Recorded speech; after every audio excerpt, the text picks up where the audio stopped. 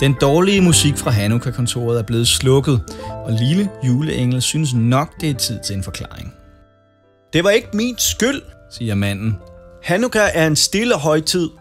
Men bedst som jeg stod og tændte min ni lys på lysestagen, så kom der to frække unger og satte en rigtig dårlig sang på. Og så drejede de på alle mine snuretoppe. Spørg min kollega fra Ramadan-kontoret ved siden af.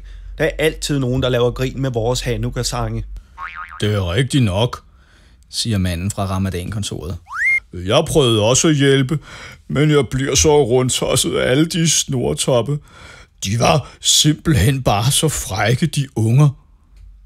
thank you